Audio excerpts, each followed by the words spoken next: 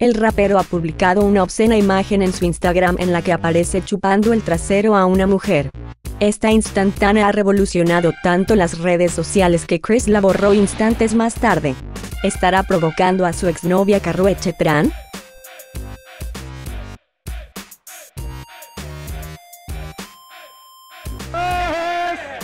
Y es que desde que el artista salió de la cárcel, no ha parado ni un segundo con escándalos, borracheras, idas y venidas en el amor. Un sinfín de polémicas que parecen no afectarle nada, y si no, con esta foto, aunque la borró instantes más tarde, queda demostrado que él hace lo que quiere, cómo y con quién quiere sin afectarle las consecuencias.